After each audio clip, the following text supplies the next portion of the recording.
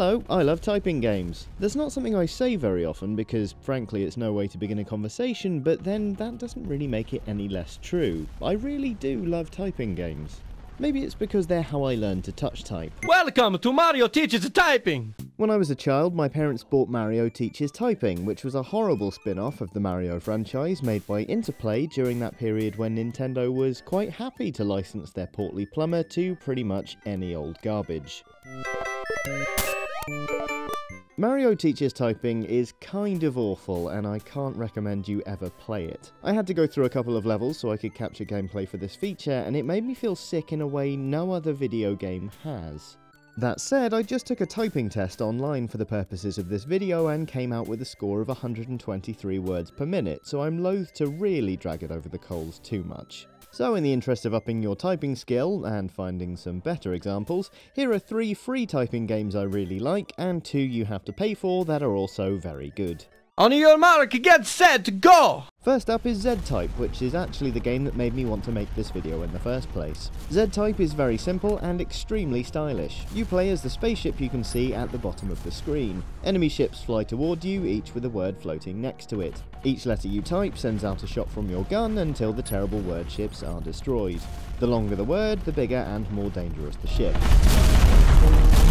You get 3 area of effect blasts to save your skin, and that's about it. The best thing about Z-Type is undoubtedly the sound design. The staccato gunfire of your ship gives the same lovely sense of feedback as a manual typewriter or a mechanical keyboard.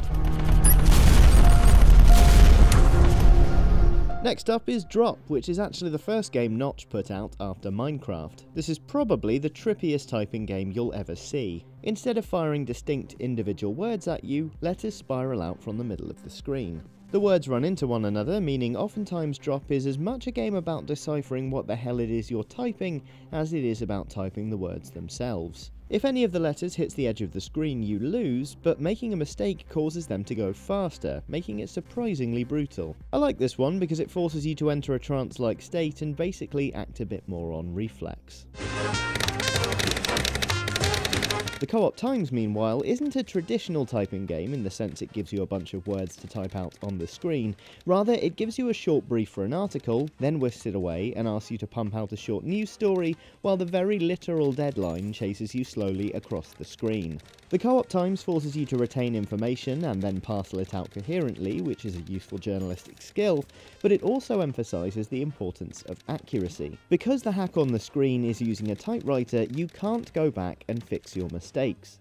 Seeing gibberish words fall out onto the page because you've miskeyed something is surprisingly galling. The Co-op Times is remarkable because it teaches you more about why it's good to learn to type than it actually teaches you how to type. Making up your own headlines also happens to be tremendously good fun, and every story that gets written is automatically published to the Co-op Times website, so you can go back and read your stories or laugh at the piss poor writing of other people. Moving on to typing games you need to shell out for, Epistory Typing Chronicles is a funny one. It's got a gorgeous papercraft art style that unfolds as you explore the world. Playing as a girl riding on a magic fox, Epistory is a far more relaxed experience than, say, Z-Type, but it also has some surprisingly deep RPG elements. My one gripe with Epistory is that the narration is a bit heavy-handed, but for a slightly more chilled out typing game, it's lovely. And finally, because there's no way we could leave this one out, here's the excellent typing of the Dead Overkill. Taking the on-the-rail shooter format and swapping out the light gun for a keyboard, Typing of the Dead Overkill has you typing words attached to zombies in order to stem the flow of undead and keep yourself alive. Presented with a ridiculous over-the-top B-movie aesthetic and, most importantly of all, featuring Shakespearean and rude word add-on DLC packs, Typing of the Dead Overkill is a ridiculous and joyous ride. So there you go, typing games. They're really sodding good.